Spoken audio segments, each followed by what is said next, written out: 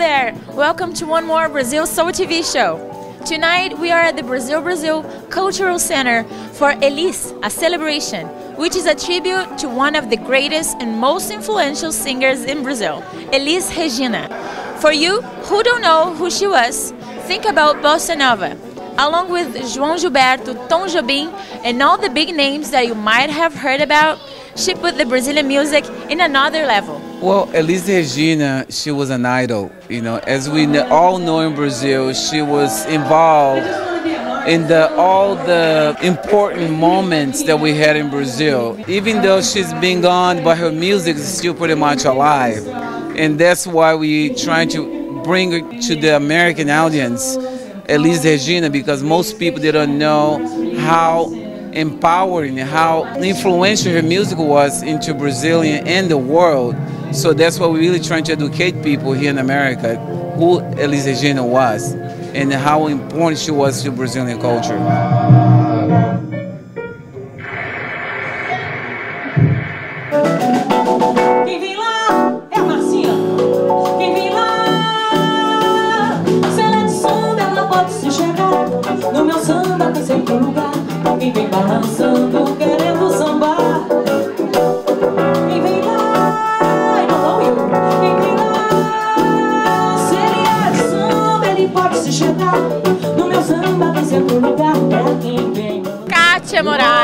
The big star of tonight. Between all the songs that Elisa Regina has, it, how did you pick up your lineup?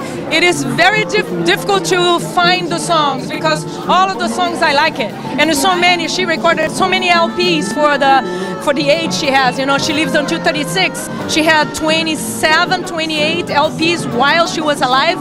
So it's hard. But I went with my heart and said, what do I like? Everyone is like my favorite. Exactly, and everybody sings. You see, I, I, we sing one song, come on, everybody sings.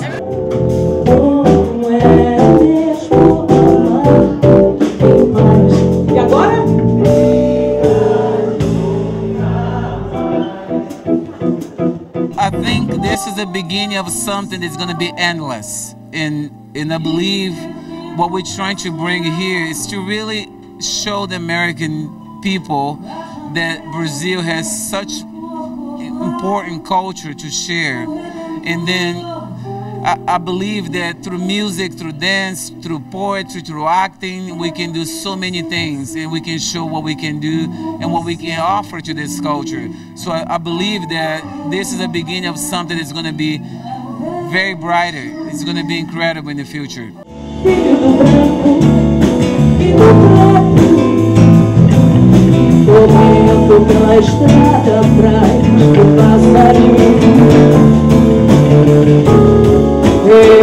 Plantação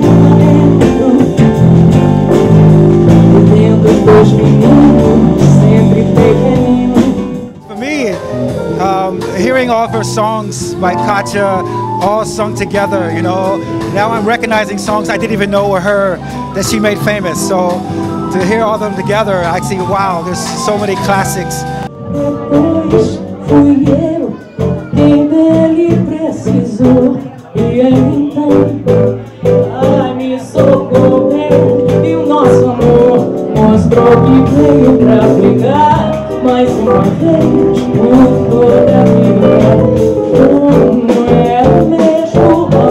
I've been seeing a lot of like articles from Brazilian newspapers and we saw, we watched the, this amazing, not documentary, but a lot of footage that you guys could put together. How the idea came out? Well, I know Katia Moraes for many years, and uh, we, you know, we always like debate, like you know, we should do something together, and we always trying to collaborate, and and then finally we met like a couple of months ago, and we said, what a, what about if people do like a celebration honoring Elis Regina? So we met, and we discussed for several weeks, and then we came up with the idea to do here at the Cultural Center uh, a celebration for Elis Regina, which is happening tonight, which, as you see, is an incredible night. A lot of people, beautiful energy, beautiful, like, you know, vibes, which we're really trying to bring to the American culture. Jorge Vismara, you're the responsible for those beautiful images on the wall. So tell me, how did you bring this inspiration out? I don't know. you don't know. Probably it was Elis inspirational, working on my brain and trying to convert her, bring her through musical notes into images that people can enjoy. You were talking to me about the videos. too. Yeah. You had some footage with you, right? Well, when Katia asked me about working with her, I said, "Oh, remember, I have some VHS tapes that I recorded from some global specials about Elis, and we collect about five hours of Elis uh, videos, and we we were able to clip it down to 25 minutes, 27 minutes. What you saw here, many images are the colors are not really there, but she's there. Angela, you're Australian. Yeah. What do you think about the Brazilian culture?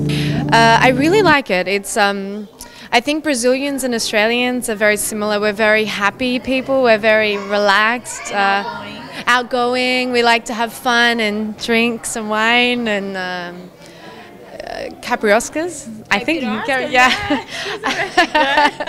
um, I think I think Brazilian culture. I'm trying to learn the dance that everyone's doing inside.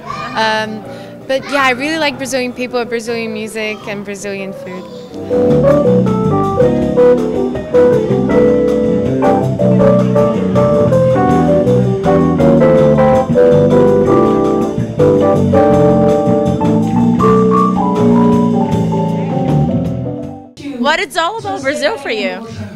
Wow. Um, I don't know because it's hard to describe. I've thought about it many times, was, uh, but Brazil, it struck a chord in me even at a very young age. You know, I when I first heard, like when I was a kid, very young in America, I heard "The Girl from Ipanema," and the, the romance of it, the, the, the tropical energy of it, the beauty of. I could feel the culture. I could feel the the, the, the landscape, the, rhythm the, and rhythm. Just just just said, where is this coming from, and why? You know, I feel like wherever this is hap- this music came from, I want to find out about this place.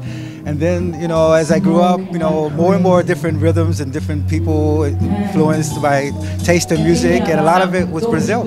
Everything started, you got hooked with Girl from Ipanema then. Yes, yes. I wanted to find the girl from Ipanema. so where's this place Did and you where's find this it? girl?